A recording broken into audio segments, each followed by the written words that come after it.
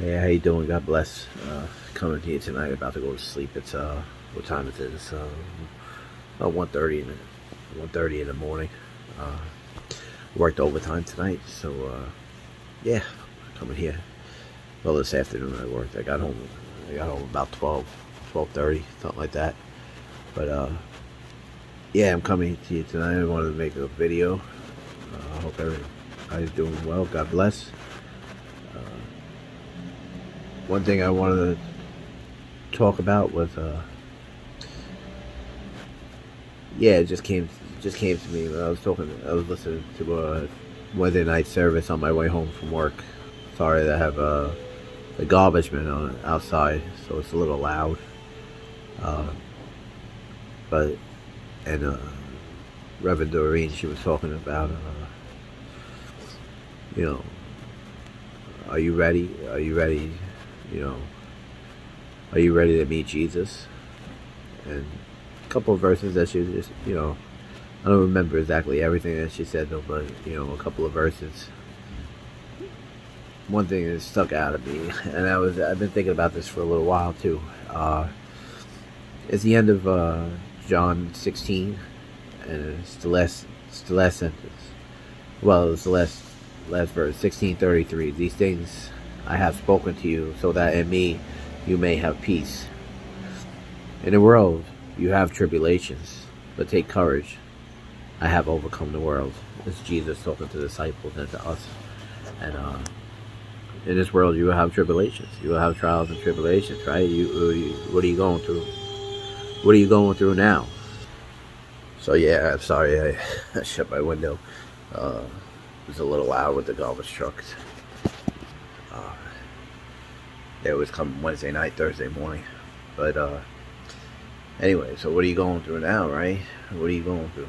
What kind of tribulation you going through right now? What kind of trials you going through right now? We're going. Everybody's going. They're going through the this pandemic for the last year or so, right? The last 11, 12, 13 months, whatever it's been. And, uh, you know, what other diseases are you going through? What other, what other things you're going through, financial burdens, you know, uh, heartbreak, right? Heartbreak's a big one, right? When, you know, you can't see, a lot of people can't, you know, you can't see your families and stuff like that.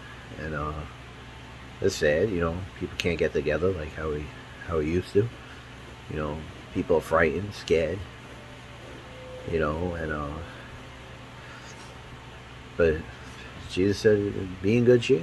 I've overcome it all. I overcome it all. He did. He overcame it all. Everything that's there, he did it. He, he took care of it. He's taking care of it now. Believe on that. Believe on it. You believe in him, and you believe that he's taking care of everything right now. You know, God's taking it. He knows. He knows what's going on. I mean, he didn't leave you. You know, a lot of things people say, why God? Why, why God for this? Why God for that? You know, something bad goes wrong, you know, even if you don't believe, even if you don't believe in them, and like, oh, why God, why does this happen? Why do why do people get sick? Why do people have diseases? And and uh, you know, God doesn't want that stuff to happen, but due to sin, you know, that happened, and due to the devil and everything, and this stuff happens. It's happened, you know. What do you? He's saying. He's saying to us, what are you doing?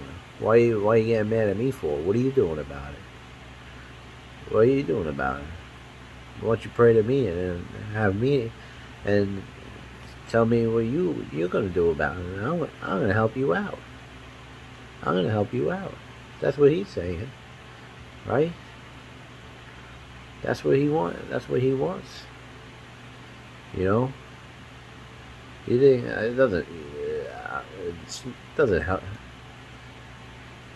You know, you watch, you read the stories of Jesus in the in the Gospels, and he, you know, every time he sees somebody sick with something like something like that, he felt compassion. He felt compassion for him. He doesn't want that to happen. He doesn't want it to happen. No way. Jesus is God. Jesus is part of the Trinity. You know, and uh, they don't want that stuff to happen, but it happens, right? And what are you going to do about it? You're going to sit there and dwell in it? Or, you know, let me tell you a story.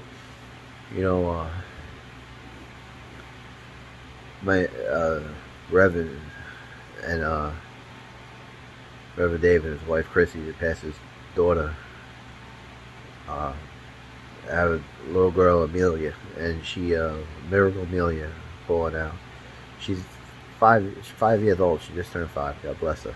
And uh, she, uh, she got diagnosed with a, a, a rare kind of cancer, a childhood cancer, a couple years ago.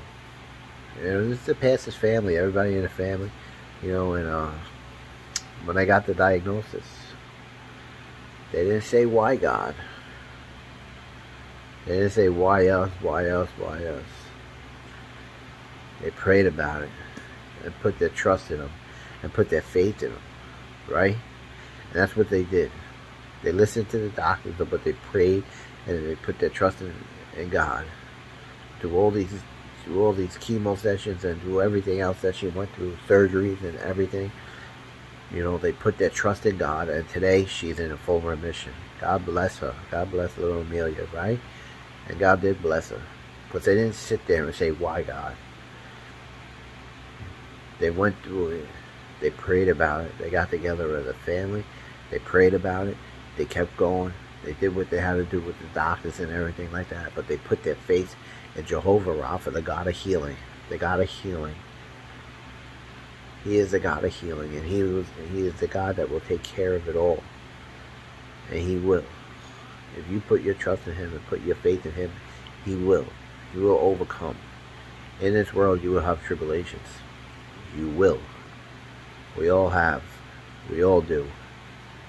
But Jesus said, Fear not.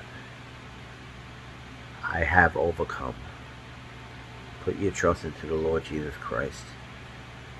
And He will help you. He will deliver you. And I'm not telling you what to do. I'm just telling you from experience. I'm just a regular guy who just wants to talk about Jesus.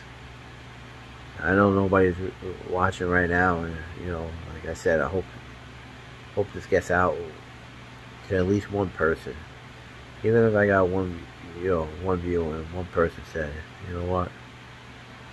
Let me believe on that name. And I just, you know, I just pray for that. I pray for that right now. I pray for every, if anybody listens to this, I pray for you. I pray for your families. I would say, Father, I say, Father, we just thank you for every, for all that you do, Lord. You are the God. You are the overcomer. You overcome sin. You overcome death, Lord. You overcame it all, Lord. And one day you will be back again. And we just thank you, Lord. We praise you, Lord. We thank you. I pray for whoever's out there, whoever will watch this in the future or whenever that you will just heal them, Lord, from whatever diseases and whatever diseases they having, depression, alcoholism, anything that they are going through, anything they are going through right now, that you will heal them, Lord, that you will bring them, and that you will deliver them, that they will call on your name. You say, come, come, all who are weary, heavy laden, and I will give you rest. So, Lord, I just thank you, Lord. I thank you for all the people out there today, Lord. We just thank you for giving us another day, Lord. In Jesus' name we pray. Amen. And on that, I will say God bless and good night.